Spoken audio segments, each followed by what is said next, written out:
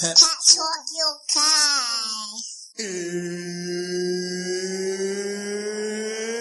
It's time! Everyone talk good game, but it don't really face me. Nah. The man that ain't mad like Max, the boy that not murky like Ace B. And them got walk the slide on the back, balling like a baby.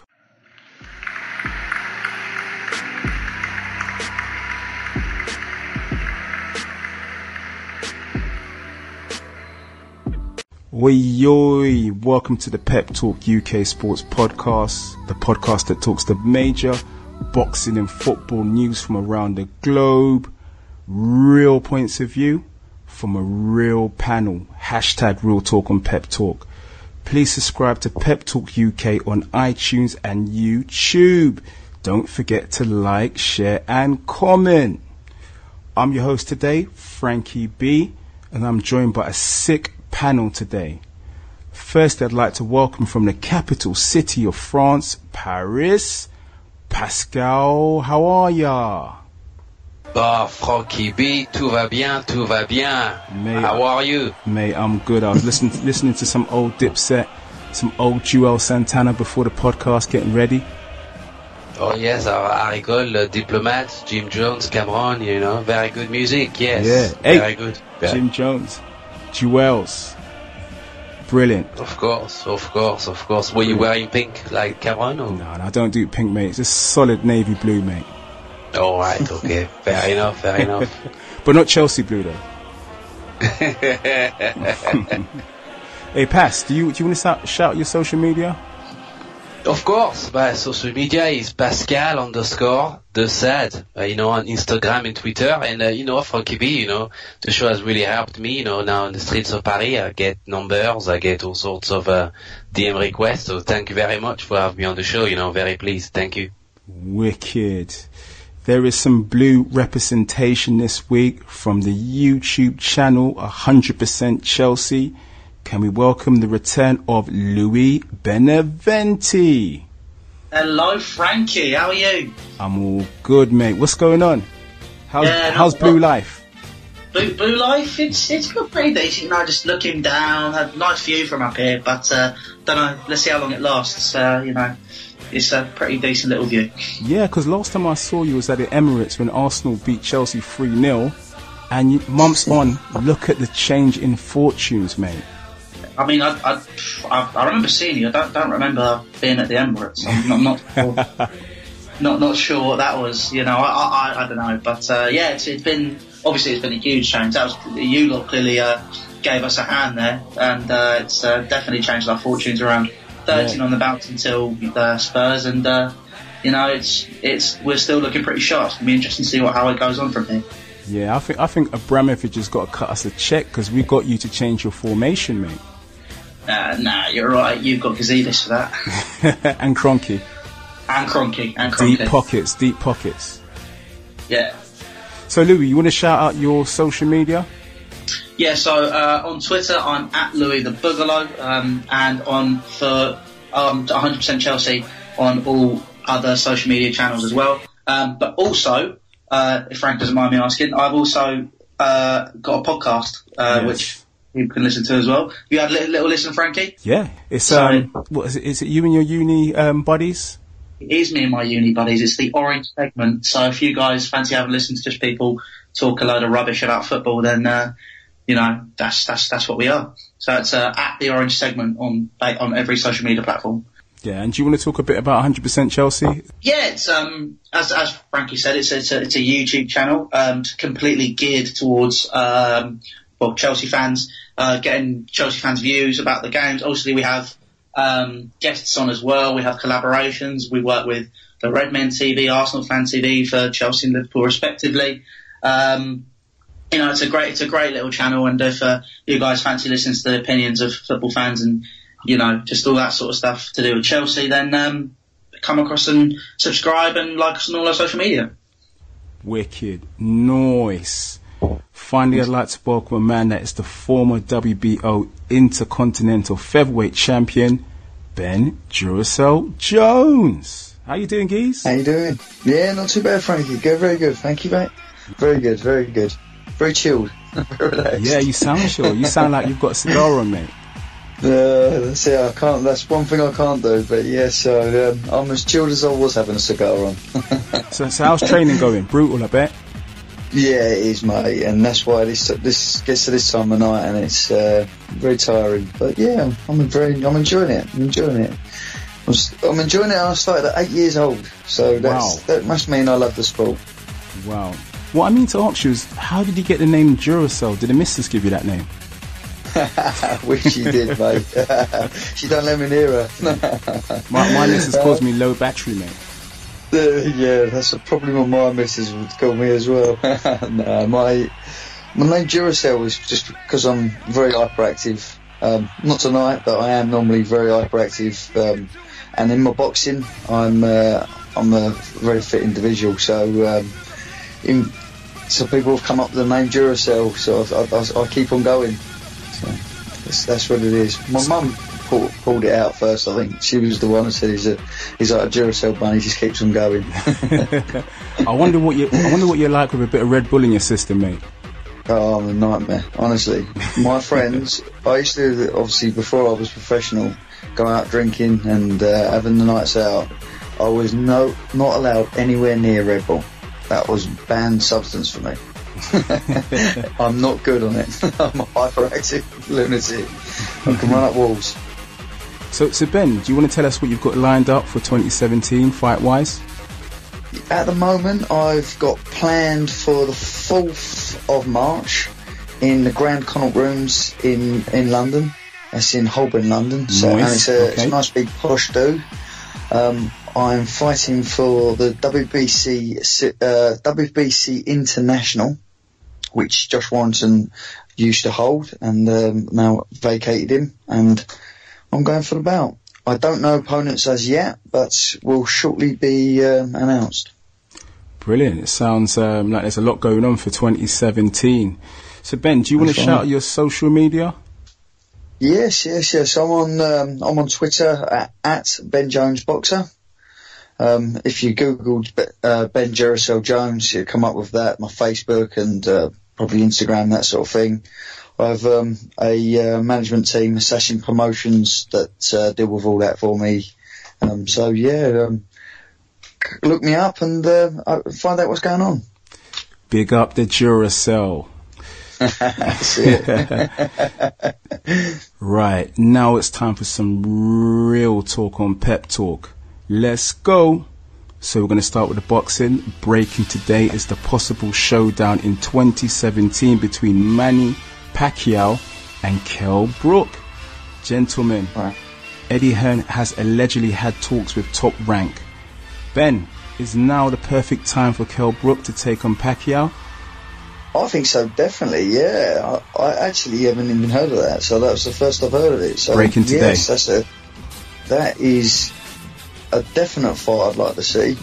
I would personally like to get Kell Brook out very quickly for a nice, nice cushy sort of win back to Kell Brook's normal style, just to get him that full confidence and everything all back into into, and also back to the weights as well. Um, and that's a great fight, yeah, and it's something I do want to see. How do you think Kell Brook performed in the Triple G fight? Um, difficult for me to say. Um, Kell Brook's a fantastic fighter, He is, yeah. but GGG is is a phenomenal fighter, and he's given away a couple of weights here, and and we all know as boxers, it doesn't seem like a lot um, in actual weight, but I tell you what, a pound in boxing is a lot, and I felt like it was at any point that was going to happen, and I was watching it thinking, Do you know what, you're a great fighter, Kell, and I'm glad. I hope you earn a hell of a lot of money because he didn't need to jump that far. He's he's a talented fighter himself, but at his own level, at his own uh, not his own level, at his own weight. That's that's the main thing to say. Um, he's a uh, he's shown that he's he's class at his own weight, and he's got fantastic weight there with loads of big fights. I think just the opportunity came and he went for it, and I don't think that that um, that tarnishes his career in any way. I think um, that's he'd come back down and show what he's show what he's made of. Hopefully against Manny Pacquiao. Who knows? Yeah, I just want to be, see him back in the ring. I want to hear him say, I'm back, baby. That's what I want Yeah, to hear. too right. That's it. Same here. Same here. Uh, Pascal, so in terms of Pacquiao possibly fighting Kell Brook, is that something you think will happen? And if so, who do you think will be the favourite? Well, you know, it'd be a very interesting prospect. You know, we're not sure that Manny Pacquiao has fought in Europe before. You know, he normally fights in Asia or in America. So it'd be very good to have, you know, a great future uh, Hall of Fame like Pacquiao to come to Europe. And if Eddie Hearn can do anything in London Stadium, you know, Wembley Stadium would be absolutely fantastic. But, uh, you know, look, it's a very tough call, you know, it's a very tough call. I would still marginally give it to Pacquiao. You know, certainly because you know Pacquiao is, is a very very talented fighter. He's still he's only 36 years of age. You know, he's still not rusty. You know, and he's shown that um, he can still mix it with the best of them. You know, and um, I think that uh, Kell Brook will be uh, uh, you know in again for a very difficult difficult time. But at the same time, Kell Brook at the welterweight division is also a very proven fighter. He's still a champion. You know, at He's a IBF. big welterweight as well. He's a very big welterweight and he's a man that can punch and he's a very, he's got exceptional timing. Um, so there could be an opportunity for Ken to cause an upset, you know, but I think the bookings and, you know, and, and uh, the, the bo- boxing pundits will lean towards Manny Pacquiao because of his resume, because of the type of fight that Pacquiao has, the experience, of course, you know, but you can never have Kell, Brook, uh, Kell, Kell Brook out, you know, is, I, I really like Kell Brook, he's a very good fighter, very talented fighter, he's got the, the heart of a, of a lion, and if there's going to be an upset, I reckon that uh, Kell Brook is the kind of guy that can uh, inflict it, you know. The special one, Kell Brook. Big up. We want to see the fight. Now it's official, as broken to you by Pep Talk UK. Fres Oquendo is fighting Shannon the Cannon Briggs for the WBA title. Let's go, champ. Pascal, we bumped into Wait. Frez at the Joshua fight, and he confirmed Yeah. it himself. It's actually going ahead. Yes, I remember. It was a very good night, wasn't it? The Joshua and Molina uh, night. You know, we saw him on the way to the hotel. You know, um, he was it on the way to see Scott Quigg. We saw Scott Quigg there. That's right, yeah. Know? So, yes, he was a very, very, you know, it was a great opportunity to meet Fres Oquendo. Very nice guy. You know, good gentleman. You know, um, you know, I understand also an anthropologist, loves people, does a lot of char- charitable work in his He's spare got that, time. So, he's got know, that Puerto Rican passion as well. Puerto Rico. of course. Oh. Yeah, of, of course. I'm sure he's got very good salsa moves, you know. Uh, but it'll be interesting to see if those moves can go into the ring. You know, and uh, you know, and Fres Oquendo, you know, against uh, Shannon the Cannon Briggs. You know, we've been waiting to see Shannon the Cannon Briggs fight, you know, for quite some time. It would be great if that fight could take place in the UK because I understand that Shannon in England has a very, very good big following. You know, people like him. You know, people take uh, take to People like to say, of- let's go, champ. of course, you know, he's got a very infectious personality. You know, in boxing, you need that. You know, you need to bring the galvanize the people with you. You know, and and he's embraced the British culture, and the people of Britain, uh, you know, love Shannon the Cannon Briggs. And uh, it also be very good to see whether Shannon can become a third-time world champion. You know, he's won the, you know, he's won the title twice before, and uh, it'll be very good to see him again. But you know, the, it's uh, do not believe that the fight could be, you know, pay-per-view fight because not many people, you know, know who Fres Oquendo is, you know, and don't, don't particularly, you know, know his background very well. So it will be good, very good terrestrial TV fight. But um, I'm also concerned whether can you can you make this fight a main event, you know, because. You know, I mean, uh, what kind of marketing would you be pulling? I mean, Shannon, Shannon the Cannon Shannon, himself, Shannon can market. That's all right. He can market, mate. well, of course, you know, I mean, he's a he's a he's a he's a nuclear bomb of a of a marketer, but uh, at the same time, you know, the, the opponent is also very important to bring in the, the buzz that uh, that that and, and of course, let's face it, the paycheck that Shannon is looking for. You know, he's not doing this for for nothing. You know, he wants to get uh, you know secure his pension. He's still got a few miles on the clock, mate. He's still got Yeah. a few miles. He's still the champ. so Ben, um, in terms of Shannon Briggs, he's finally got his chance. So after all those press presser walk-ins, funny videos, and saying "Let's go, champ," how do you think he's going to do? Uh, he could do it. I mean, he's obviously he's um, he's getting older now, and who knows? I mean, this is this is his opportunity, and this is what he wanted, and this, this he's done a great job of it. I mean, um, how many people have said to me to do different stunts and stuff, and I never never never even thought about it to be honest. but uh, He has, and he, he's travelled the world, and especially in the heavyweight division. And, and he chased Klitschko for a long time around the world as well. yeah, he did. Yeah, and he's and, he, and he's, he's he's done himself proud. Even if you looked at um, if he didn't have this fight, he's made himself money on back of this. You know already, which is great. And I wish him all the best. And to be honest, my total opinion on heavyweights is you do have the, the top top grade, and then there's a step below that are quite a lot below in my eyes. hmm And I think anyone can win it. It's a it's a puncher's chance in that heavyweight game, and course, I really yeah. think that uh, yeah he could do well. I really do think so. Good luck to him. Good luck to him. He's done he's done himself proud already. Yeah. Ben, I just want to hear you say it. You, you know what I'm going to ask you. Let's go, champ. Noise. right now, a quick word on the unifi- massive unification fight between James Chunky DeGale and Badou Jack. Champion versus champion. It's going down this weekend. Ben, how do you feel Yeah. this one is going? It's a great matchup. I mean, even if you just looked at records, it's very, very, very 50-50 on records. It's very 50-50 in every way. They're both holding a world world title. It's a great opportunity for both of them. I think DeGale can do this. I Yeah. really do. And I Badou, really Ja- do. Badou Jack's been stopped before. A lot of people Yes. don't know that. Um, he's been stopped. James DeGale's lost only on points before. Yeah, and I believe that he's improved in a big, big way Big since way. that loss. In a big way, more than more than more than most, to be honest, of that have lost and come back. He's he's changed, and I think that it took him a while. I think a good a good year or so from that loss, and then he started to come into it, and then obviously winning the title, and he's he's progressed and progressed. He's a great fighter. He was always a great fighter, but I there- there's a difference between um, being a world champion and coming your way up, and I think he's learnt a hell of a lot on that way, on that journey. So you expect to see uh, a, a, new WBC and IBF champion on Oh, Sunday so. morning? I hope so. Yeah, I'd hope to think so. You know, I mean, it's nice. Uh, I went through the ABAs and, and amateur days with with um, with James, so Mm-hmm. um, it, it'd be fantastic to see him go and um, go and do the business. Yeah, it'd be good. It'd Be really good. What's that feeling like to actually achieve what you set out to do from you know from starting in the sport? Ah, I mean, it's it's ama- I mean, I've actually I've never won the world title. I've won the intercontinental, which is it's, it's pretty, pretty much my world title. Don't get me wrong, I'd like to win a world title in my time. And I think every stage that you get, even, you know, fighting for the English, winning the English, them sort of, it's a it's an amazing feeling. It's everything that you've been working for, and everything you've been putting your life and changing your life to, especially for the 12 weeks before. You put your life through hell to get there. And I think um, I think uh, at any stage, it doesn't matter whether it's your southern area, your international masters. Yeah. It's it's it's your it's your goal, and winning that title is everything you've just just worked so hard for. You know, it's brilliant.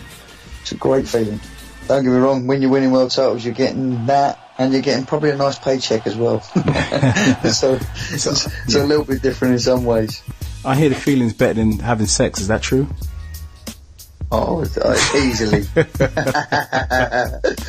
Only the challenge. yeah, I would say so. so Pascal, um, Wait, you've had time to think about it. It's been a whole week. Have you changed your mind? Are you still rooting for Badou Jack? Well, you know, I mean, the only reason why I'm going for Badou Jack is because he's go he's good to be fighting in, in his home. You know, is the, the the advantage is the home advantage for him. You know, uh, James DeGale has to travel, but you know, James has done it before. He's very good at fighting abroad. He's a road warrior, of course.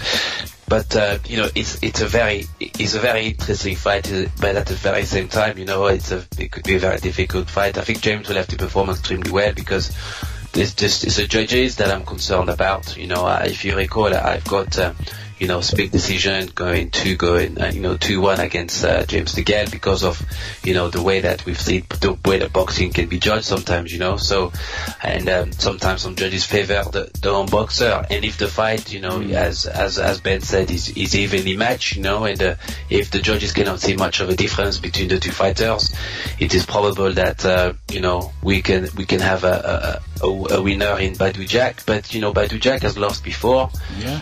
uh, James DeGale badly, he was before. badly rocked in that fight as well. He But you know, but to give him credit, Badou Jack was never really the exciting fighter that uh, you know, that, that that that we all thought he would be. You know, but he's gradually started to work really, really hard. You know, and uh, it is proven that he's able to mix it with the best of them. You know, so I give him credit because he's he's certainly has worked really hard at, at his boxing ability. But what will be interesting to see is he's not he's no longer with um, his trainer Mustafa Muhammad. You know, the old trainer they they've parted ways for that particular fight, and it will be interesting to see whether uh, the absence of Eddie Mustafa will have a you know any uh, you know um, effect on the fight. You know, come Saturday. Come Saturday evening in Las Vegas, so so in New York. Pardon, pardon me, in New York. So I'm very, very keen to see the fight. But you know, I'll be watching it here in Paris. You know, I'll be watching uh, early hours with uh, my coffee and uh, my flip flops. You know, and I'll be very, very, and I'll be rooting for both fighters because, uh, to be honest with you, Frankie B, I like them both. I'm, I think they're very talented young men. They are, they're very yeah. young men. They carry themselves really well.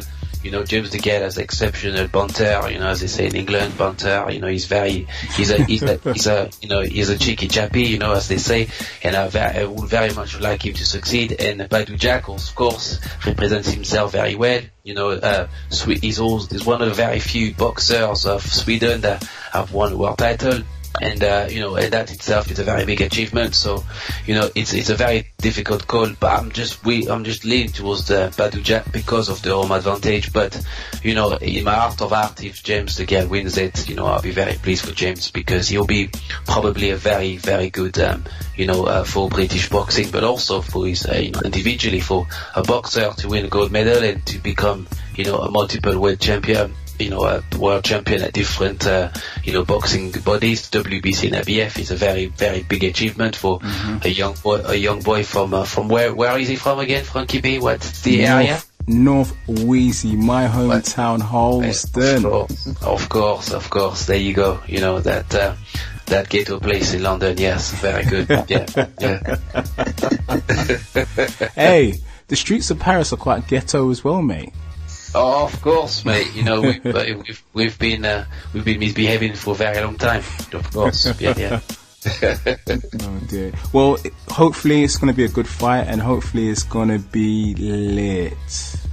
Now, 2017 has seen kind of a different announcement, promoted by Mayweather Promotions. It's going to be wait, wait for a minute. Soulja Boy versus Chris Brown. It's going to be R&B versus hip hop. Ben, who, Yes. the tail of the tape. Nobody knows the tail of the tape, but who are you rooting for? Oh, blimey. Do you know what? I find it quite funny. I'm not, I, I can't root for any of them, to be honest. I'm not 100% sure. Good luck to them. Anyone that steps through that road, I'm, I'm completely on their side. You, you've got to be a brave man to step through that road. So, good luck to them. Um, what are they doing it for? Are they doing it for their for their self, or are they doing it for charity? Publicity, yeah. It's for, it's for um, publicity, I think, and um, I think there I are hope some give a lot to charity because there's a there's um a good pay per view. There'll be a hell of a lot of people um, watching and stuff. Oh, there's a lot of charity involved, and uh, they've got enough money. They don't need no more. Ben, I hear you're a big Soulja Boy fan. I like Soulja Boy. Yeah, I do like Soulja Boy. That's, to be honest, I, I'm I'm an open man with music. I like a bit of I like a bit of everything. To be honest, I'm very. Um, you couldn't really pin me down to one type of music. I like sort of old school garage. I like a bit of everything. Depends what I'm doing. If I'm chilling out, I would like something very smooth, very Jack Johnson, something like that. Yeah, a bit, Just, bit, a um, bit Sinatra. Yeah, why not? I don't mind. Do you know what? I'm, I am a very open open book with, with music. You get some of my friends and they're just one way or the other, R and B or you know something very or, or ho- very hard music. And then um, I'm just very open with all different types of music. it's nice. So who you got winning in this? In this who you got winning in this uh, fight between Brown and uh, Soulja Boy, Chris Brown? Blimey, I would really, I'd like to see a bit of their training, I'll tell you straight away, but I really don't know. I couldn't, couldn't help you. I mean, both of them have got some fantastic people training them.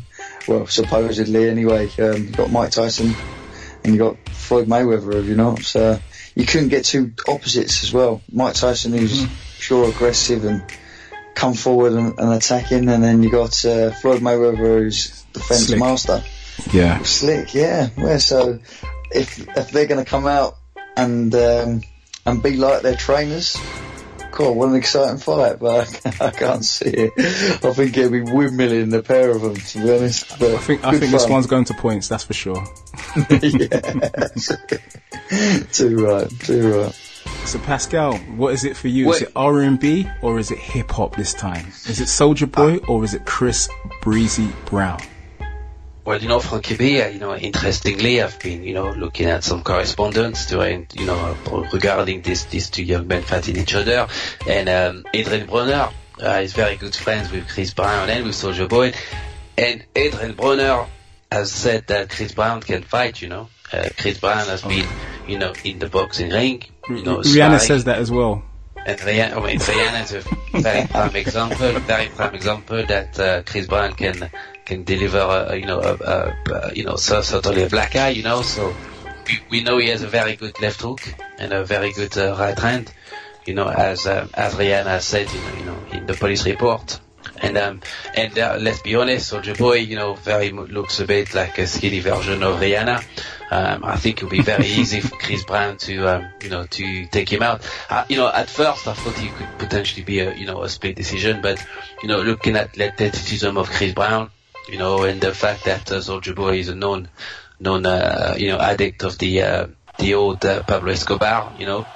I think, I think, uh, I think Chris, Chris Brown, you know, wins this one, Frankie B, you know, by by knockout. I actually think that uh, that Soulja Boy will knock himself out before the fight, you know. He might do a Tyson Fury and, and uppercut himself. Uh, of course, yeah, I can see that happening. but look, for the sport of boxing, it's very good because you know, as as I said to you before, it's a it's a, it's a good sport. You know, this sport has been going on since the man first first was created. You know, uh, boxing is, is something that we each and every human, uh, certainly every man, you know, has inside of them. It just needs to learn how, how to do it.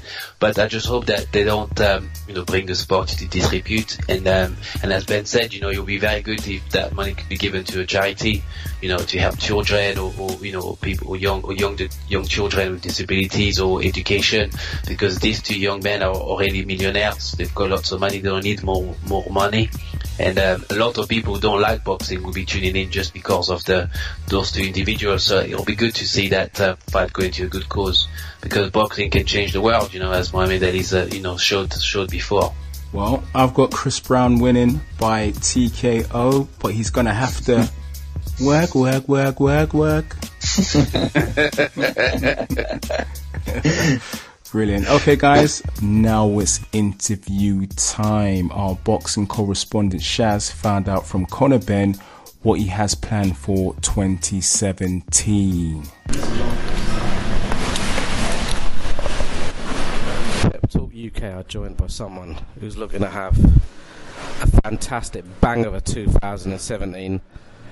Do you know what? I'm not even going to give you an intro. I'll let you introduce yourself. Here you go, bro. So my name is Conor Nigel Gregory Benn, aka The Destroyer. 2017's my year. I'm coming to take it all, and you know, 2016 was a good year, uh, but 2017's my year. You had some cracking fights all over the country last year. What can we expect this year? What have you got lined up? What have I got lined up? You know, hopefully, you know, there's big bills on. You've got the Crolla Linares, you've got the David Haye, you've got the Joshua Bill. You know, so it'd be a great way to start the year if I could get on the Haye Bellew Bill. I mean, that'd be explosive, and you know, followed by the Wembley. Who knows? That would be a surreal feeling. You know, what a great way! To, what a great way to start the year. Last April, wasn't it? Your debut. Um, yeah, last April, and a lot's changed since then. In you know myself, the way I am. Um, you know, I'm still a humble kid. I just know what I want, and you know, I've, I've got a taste for higher life, and you know, I'm ready to I'm ready to get back to the drawing board this year and um, really really show what I'm made of. You've surrounded yourself with just a few people. You've kept your circle very small. Um, who's in your circle? Who, what do they do for you on a day-to-day basis? And how do you roll? You know, I got. How do I roll? I roll up in R8s. no, I'm just playing. But um, I got two mate, two main boys three main boys, Kaleem, Matt, and Justin, and it stayed like that since since I had my debut. And you know, it's not changing. I could have many friends, many friends who are going to distract me. You know, birds who are going to invite me here and parties. But I know them three boys I got around me give me their harsh opinion when I need it. You know, they keep my feet on the ground. You know what? Their their opinion is the only opinion that matters to me. You got people say, "Oh, I think I'm all that in a bag of chips." Oh, Conor's changing. Conor's this. I didn't have the opportunities I have now back then. And you know what? I'm, I'm not. I don't. Den- I don't deny like flashy things. I, I, don't deny that. I like spending money on jackets, cars, watches. You know, um, it, it's just the way I am. And if um, you know, if people don't like it, well, that's that's your choice. But I know people who know me know I'm humble. And you know what? I'm still that same kid. If a, if someone wants a picture, I got all the time in the day for them. I won't be here without them. You've only had a handful of fights. How far are you away from title shots? I don't know. I'm, I've surpassed um, what I wanted to in a year. You know, I'm I'm doing I'm doing things I didn't know I could do before. I'm fighting the way I didn't know I could fight before. I mean, look at my debut compared to my last fight. Or my six rounder, you know, it's all it's all just learning. Each fight's been different. You know, you got people calling me out. No, when I'm ready, I will fight you and I will beat you. When I'm ready. On the Joshua undercard, you scored your first knockout. You put the young fellow away. I saw you put him down, then side, I don't know, almost done a moonwalk back to your corner, then come back in, and you were in a bit of a bit of a hurry to put him away. Is does it make you feel better putting him down? Is that what you were targeting? Is that something you wanted to get under your belt? No, sometimes I wish it was just knockout flush. You ain't getting up for a good ten seconds, but um, you know, as soon as he gets back up, I just want to finish him off, get it done with. You know, you don't get paid for overtime, but. Um, no, sometimes I think then after the fight, I think you know what I should just sit down. I should take my time because if I pick my shots, he'd be gone flush. Whereas I'm rushing my shots, and it's you know it can get a bit messy. But you know I'm just I'm just learning, man. I got a knockout. That's all that matters at the minute. I see you doing a lot of work in the gym. You're doing a lot of is it strength and conditioning with Matthew? Is it is that what you do with Matt? What what do you do with him? I've got strength. He's, he's not my trainer. He's my training partner. We do um, strength work. Um, that's it. We have a good laugh. We do my strength work, and I enjoy doing weights. And then my explosive training I do with Kai. Um, absolute. Um, that's that's really needed. But you know, there's a there's a balance. I, reason I couldn't fight on the Wembley show at the Horribles because I got shingles and I was ill, um, and that was because I was training three times a day a lunatic, and you know it catches up with you. So um, you know, this time I'm gonna start pacing myself, doing things a bit different, and really go on how my body feels instead of thinking I have to train at world championship level. I just take my time, enjoy it. I was burnt out. I thought, I thought, why, why can't I get up to go do sprints in the morning? Why can't I get up to go do this? I thought, is my ambition gone for boxing? What's going on? And it was just because I was overdoing it three times a day. And when I train, I, I train. And you know, I just need to do a lot of things different this camp. I see you do a lot of running work with the likes of Hara, Cheeseman, and the Matchroom boys. I know what stays on the road, st- what happens on the road stays on the road. Where do you come amongst all of these boys? Who's the quickest and who's the slow coach? Um, Spider reckons he's the fastest, by the way. I I'll probably beat Spider. um, I reckon I'd. I think I, on the sprints I'm second. I'm second, yeah. On the sprints, on the triangle, Martin Ward's an absolute gun. Martin Ward kills it. On the sprints, Ted kills it. I come second. Um, on the stairs, Leon C steps. Ted's a gun. Oh, Ted's a gun of them, mate. Like he beats me by like five seconds on every stair. I come about third, fourth. I'll tell you what, you just mentioning the sprints, the hills, the stairs. Do you know what? Six in the morning when it's freezing and I, mean, I can't feel my nuts. That cold. Do you know what? I'm breaking a sweat just thinking about it. At that time of morning, the only thing I can do is just about roll over in bed and turn over and face the other way. I wish I could do that, mate. You know, I wish I was somewhere hot sunbathing, but you know, um, I feel like I feel like I don't feel like Tone makes us do it in the morning for our fitness. I think it's more for the hardness of it. You know, getting beat up on sparring on Monday, then Tuesday having to get up for sprints early in the morning. I think it's more for the hardness because it's still dark, it's still cold. You know, it gives you that extra bit of toughness. And you know, we do Leon C steps and ten gashes, gashes, vomit, gashes. I've, I've, I've vomited before, and you know, you still just keep going. We at Pep Talk UK are going to be keeping an eye on how you get on in 2017. We're going to be keeping an eye on the jackets, on the watches, on the cars, and eventually when you're a lot older, the birds, and you can enjoy all of it. Is that all right? Uh, that's all right, mate. Keep your eye out. nice one. Thank you as always, Conor, and I hope you have a great 2017. Thank you. You too, mate. Now we hear from the promising Chris Too Slick Congo, who has just been confirmed that he is on the Eubank Junior and Quinlan card for February the 4th. Pep Talk UK are joined by a lad who's one of my favourites, who I would like for him to introduce himself. He's a starlet. Here we go. It's your boy Chris T Slick Congo. Once again, one of the top welterweights in the division. So yeah. That's a far better intro that I would have done, and this is one man that is happy to shout about himself. Now, how many fights have you got under your belt already? Uh, two so far. I see some of your training videos. How's training going? What's your regime like at the moment? Who are you training with? Uh, my regime is brilliant at the moment. I'm training with uh, Ted Bami up in the McGill's gym, and uh, I'm up um, Twickenham, which is basically the St Mary's University, doing some of my training up there with um, Ben Lonergan. So uh, yeah, we're working on strength and power now, and and everything. Really, it's all coming together. Every time I've seen you fight, I've seen an army of fans follow you. What's the secret? How comes you got? Is it all mates or is it people following your career? How comes you bring this little army with you every time you come to fight? Well, social media is a big platform, and the best way to get out there is through social media. So, um, what I what I do, I have a team called Whole Nine Management, and we're literally out out there just trying to plug anything we can. And um, I think through social media, obviously word of mouth is the best form of promotion you can get. So even word of mouth, we just call people up and just try to get as many people out there. It helps when you bring music starlets out with you. Now, on your last fight, who did your ring walk? Who come out going bolt, bolt, bolt? it was Cadet, one of the UK's um, top stars in the music industry at the moment. So yeah, he's doing his thing. A good mate of mine. Now, you mentioned social media and it being powerful. If listeners want to follow you, how do they follow you? What what are your Twitter and, and your Insta handles?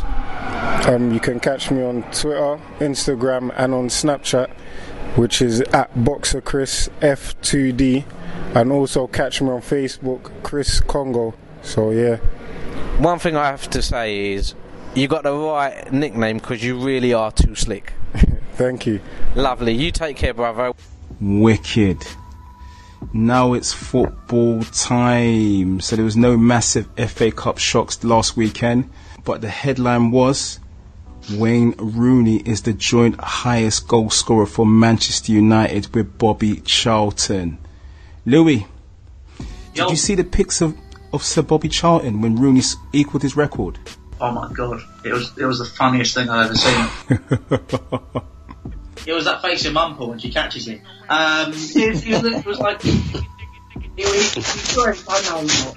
I'd like him to surpass the record. Then when he saw it coming, he was like, "Nah, no, I don't." Can, can, can, It was like shock horror. He's, he's actually he's actually done it. He's It's actually leveled my record.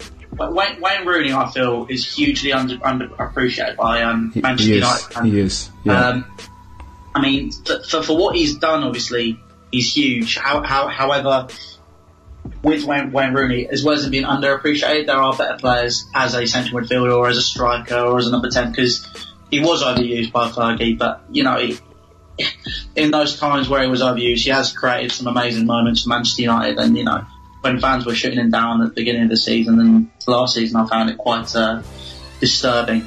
It was. It's kind way. of like they were basically laying blame to, to Rooney alone, which Mm. I thought was disgusting. I'm, I'm going to be honest. He's been a great England player. he, he, he has been. He has been. Um, obviously, you know, he was the captain. You, you, as soon as you become a captain of a club, you're going to have a huge burden on your shoulders, and you know, um, he, for, for what he, like I was saying, for what he has done, you can understand why they're blamed, and you can understand why a man who's won so many trophies for that club is being uh, held to ransom by the fans because he, he's not following through on what he should be doing.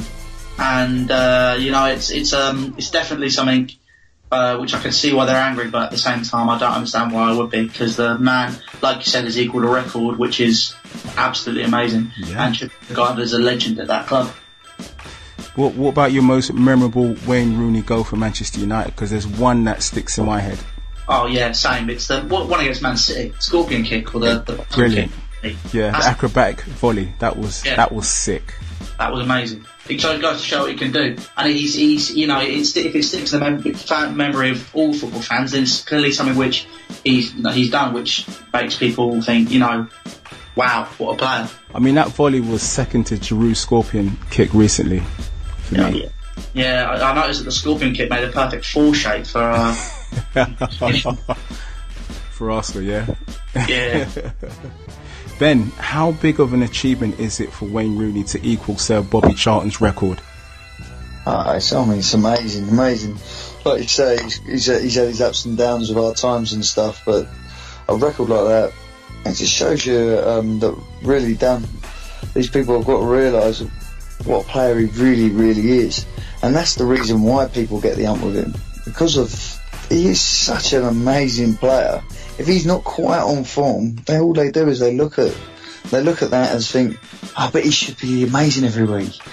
No one can be amazing every week. He's a great, great player, and um, yeah, I've, I, I think he's got many years left. He's still a young man. I mean, he's uh, what is he, thirty? How old is Wayne Rooney? Yeah, 30. 30. Thirty years old. Do, you think got- he's still good enough for England? I do. I, I personally, personally, personally, as a boxer who has to con- control weight and problems and, and that sort of thing, I think if he lost a couple of few pound, mm-hmm. you know, someone really concentrating more on that, I think he'd be, he'd turn into, I mean, don't get me wrong, he's one of the best players in the world, but he would be there week in, week out. And I think then you wouldn't have all these, these bothers with him.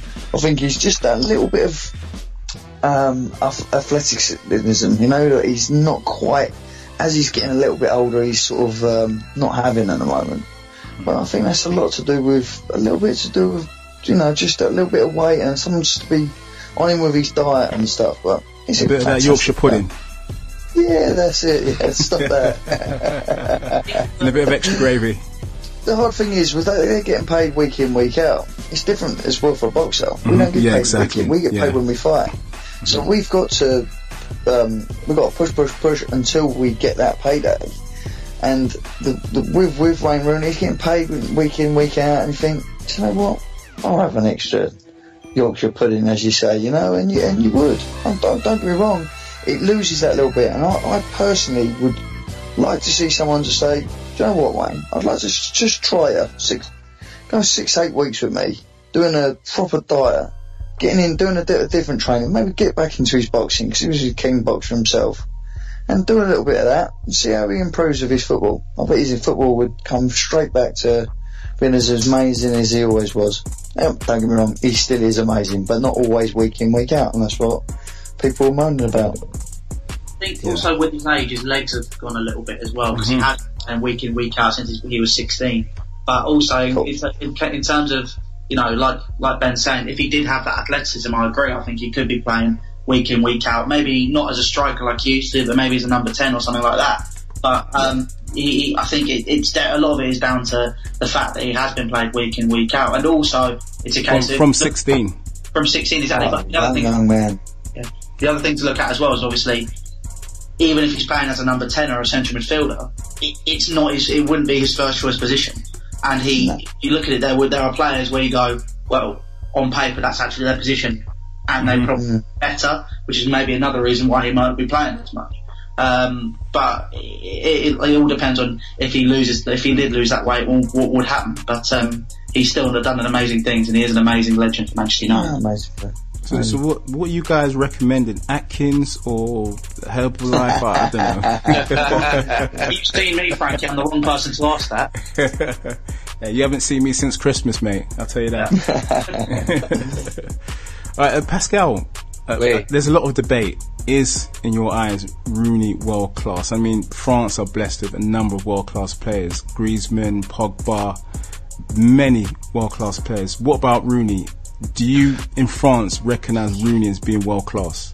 Well, I mean, look, Frankie, there's a very interesting debate about what is world class. What do you consider world class? You know, in my, in my opinion, a world class player is able to bring his team, uh, you know, into stardom, into, into bringing some Yeah, trophies for the club or for the Maradona, country. Napoli. Uh, ab- absolument, absolument. Maradona is probably a superstar of football, probably one of the best footballers that's ever played, you know. Uh, of course, he's up to debate, but uh, Maradona is an exceptional football player because, as you said yourself, the Napoli story is an unbelievable story, and I said this story to young to young children, you know, to the young kids in my neighborhood who still know Maradona even before they were, you know, they come out of their mother's belly, they know Maradona because, you know, legends live on and carry on. But you see, the, the, the problem with Wayne Rooney is, whilst he's been very good at Manchester United, for England, also he's, um, I believe he also holds a very good scoring record for for for, for the national team. But what does He's it mean for the? record. He's got he's got the record, but what does it mean for the club and for the country? Because what we want is we want to see our country win trophies inter- internationally. Now Ronaldo, for instance, will be remembered as a world-class player because he's won the Champions League at Manchester United, at Real Madrid, but also the Euros with Portugal. And you know, and Ronaldo was desperate for a world, you know, or, international football accolade, you know. So for him, you know, winning the Euros is better than even if Portugal never win the, the World Cup, at the very least, he's won an international trophy. You know, we've yet to see Le- Lionel Messi win a Copa de America or even a World Cup. Does it mean that Messi is not world class? Well, I would say, but well, Messi's a world class player, of course. he's definitely world class. He's, he's, he's, he's world class, but he's not Yeah. achieved world class status with his with his country. Mm-hmm. So it's it's a it's a very interesting one. So I think it's a what, I- what I'm trying to say here, Frankie B, is a bit of a subjective answer because some some people will say yes, Rooney is world class player. Other play, other other people will say, well, we don't think he's world class, but if you see the records that he's breaking, you know, both at both club level and, and uh, on country level, you know, you have to be a world class player to achieve those numbers. You cannot be, you know, a cash potato. Even if Rooney is carrying a bit more pounds, you know, he it's it's certainly something that we need to consider, and I think we need to grant him the, the you know the status of of of, of a world class player because he can have an impact in every team he goes to, and he's done that. You know, he's shown that for England, he's shown that for Manchester United. So I would say he's world class, but. Um, I agree with, with Ben, you know, and I agree with Louie that he's carrying a few pounds, you know, whilst the value of the British sterling is going down, you know, Rooney's value is going up, you know, and um, he certainly needs to lose a bit of weight. But I think Rooney, he's a comfortable, he's very comfortable, you know, he's won trophies, you know, he's, he's he still knows that his name will help him carry him into the, the the England team. He'll still play at the World Cup, I believe, you know, his last World Cup. You know, what is the incentive for a man like Wayne Rooney? You know, you earn three hundred thousand pounds a week. You know, you played for the, one of the best clubs in the world. I mean, what else can, can Wayne Rooney do? You know, where is the motivation? Where does it come from? Louie, how, how do you how do we define world class these days? Because, like Pascal's saying, it is pretty subjective now. Um, some people go by stats, some people go by personal preference and uh, analysis of how they play. I mean, what do you define as world class? I completely agree with Pascal. I think you have to win a trophy with your national team. That's that's what makes me you're that class above everybody else. Uh, that's why I, I personally think Ronaldo over Messi, man, and also because for me it, it does come down to personal preference as well. So with Ronaldo, regards to use the example Ronaldo versus Messi again, I prefer Ronaldo because he's worked for it, and he I feel with Messi a lot of it was natural talent, whereas Ronaldo he's built up, he's trained day in day out, and he's he- yeah. he's that goal. Yeah, he's only well, yeah, manufactured, but he sort of he achieved he achieved that goal by working hard. Um, and it's, I, I do think it, it does come down to if you haven't won a World Cup or an, uh, a trophy with your national team. Uh, you're, you're, you're world class, but you'll always be known as that person who nearly got there, but just didn't quite make it. Well, Ben, do you think Ronaldo's um, um, a mark of graft by just a you know just a picture of his six pack? as as uh, as I've said, he's worked so hard for what he does, and the thing is with Ronaldo is he's week in, week out, week in, week out. He's he's a great, great player, it, and. yeah. He, yeah, and he, he, you, you very rarely, even Ronaldo, when you, if you actually spoke to him and said, not that I ever have, but when he's had a, t- a game that he thinks is terrible, we'd still think, wow, you know, things he, little things he does is just amazing. If you really look at, he's he's worked so hard at it. He's um, the little bit that, in some ways, that maybe defeats us with Rooney as well. He's a great play, great player. It's not every week, and there's a difference. As in, the consistency's got to be there, and you look at your Messi's, you look at your Ronaldos. I would say eight out of ten. They're fantastic. As in, you look at Rooney, maybe it's four out of ten. Then four, amazing. But the other six ain't good enough. And that's that's the problem we have, and that is the problem, with, especially when we're playing with England. I mean, a lot of it with England, I think, as well, is we've got an amazing, amazing league, Premier League, but mm-hmm. there's not enough Premier uh, English players in the Premier League, all playing for the same clubs. You look at Spanish clubs, they're all playing in the same club, and they're all fantastic, and they get to know each other. We don't have that, and it's a shame. But can you can you change that? Money doesn't. Money changes that. That's the problem, and that is there's too much money in football, and you're not going to one say, oh, I'll tell you what, we're not going to have all our foreigners. We're going to we're going to have all load of English players just because we want to do well in England as as an English team. It, it, I, th- I think it's a difficult difficult question to to, to ask. You know. Quantify, yeah. Mm. And and going back to the world class, I don't. I I sort of half disagree with the um, w- having to win, having to win a World Cup or a European yeah. Cup or whatever. I think if you're a fantastic player, no matter how bad your team is, and, and Because I, yeah, I, I, I totally see where they're coming from. Stats are stats, and that's how it is. but I- when is, I play football at half Yeah. decent level, I don't care whether we won or lost, as long as I played well. That's how I used to play, and that made me not a team player. Don't get me wrong, and that's why probably why I'm a boxer, not a footballer. But I used to, I we could lose two 0 and everyone would gut it, walk off, and I could be happy. And we could do the opposite way, win two 0 They're all happy, and I'm gutted because I didn't play well. And sometimes I feel Mm-hmm. Ronaldo, like yeah. yeah, there's Ronaldo. You know, that's why he is he, what he is. He works it so hard. He he will always play well, whether his team's losing or, or not. He wants to play well. He wants to better himself. He sure does. Now we move on to the weekend ahead. The Premiership is back, baby. So, Louie, your blue team versus another blue team, Leicester. Yes. Leicester versus Chelsea. Yes, indeed. What is Juan and Louis? Tell me.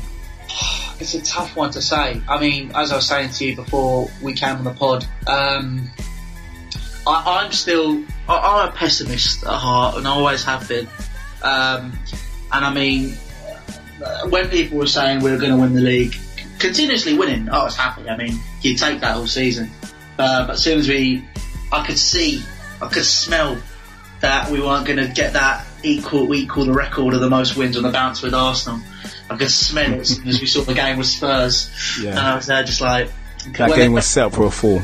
yeah, and I was there, and it, it- we've been set for a fall with every big club that we've played this season, and it's it's been a it's, it's been tough, but I think with, with a five point gap, it's going to be hmm. tough for me to say we're definitely going to like it's, it's not something's not going to happen. But with Leicester, I just feel they're going to want to buy back, and considering how they played in the FA Cup, and getting their first away win, their first one of the entire season against Everton, they're going to be bouncing, and you, you, you, Ranieri is going to have them raring to go, saying, Of "Look, course, yeah.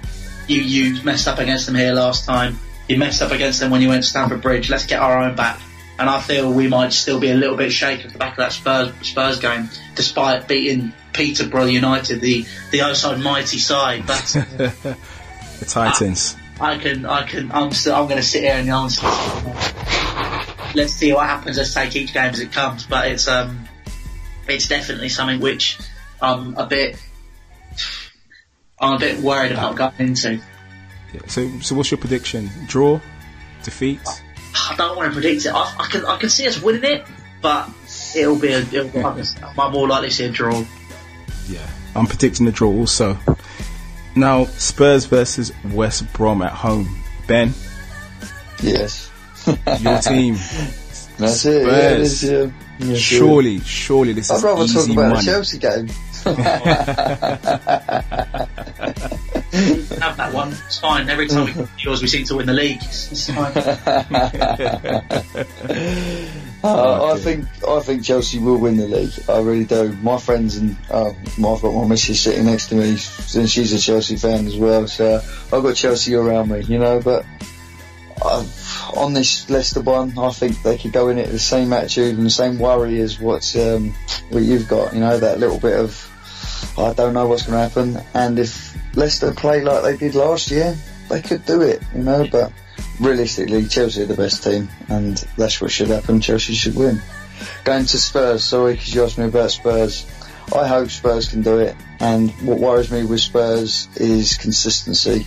And complacency Um, as well. Yeah, they do, and that's their problem. And and it, it's.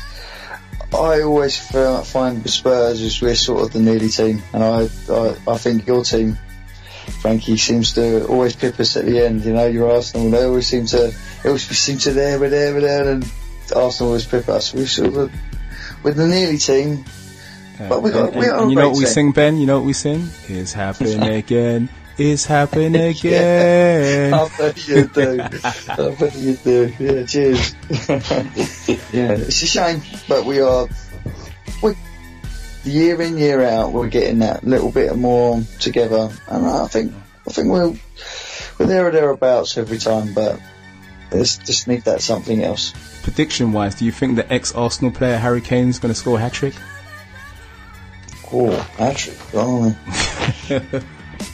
Could do, mate. You don't know. Yeah, ex Harry Kane? That one.